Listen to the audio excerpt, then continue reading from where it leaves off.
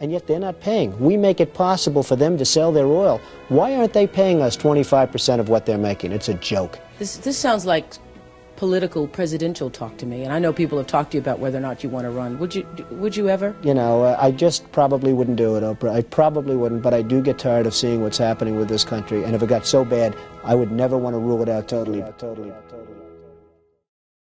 The Republicans better have something pretty special up their sleeve if they're going to try and beat what they did last time.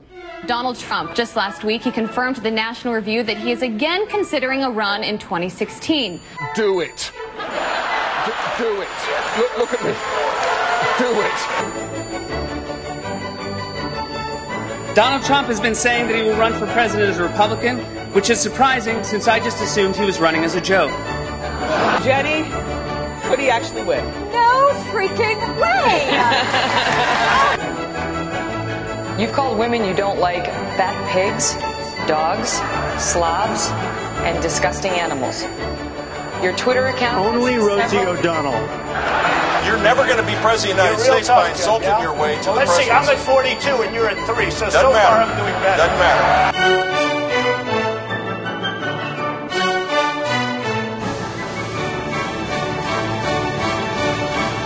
I continue to believe Mr. Trump, Trump will not be president. There's not going to be a President Donald Trump. Um, that's not going to happen. There is zero chance we'll be seeing you being sworn in on the Capitol steps with your hand on a giant golden Bible. Donald Trump will never, ever be president of the United States. Donald Trump will not become president!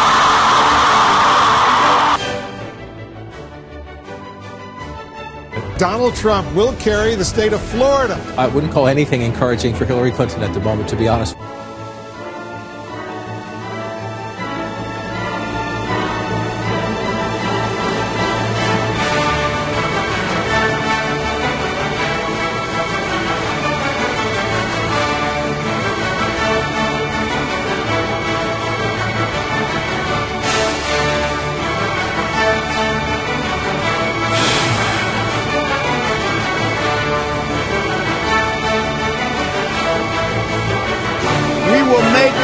America strong again. We will make America wealthy again.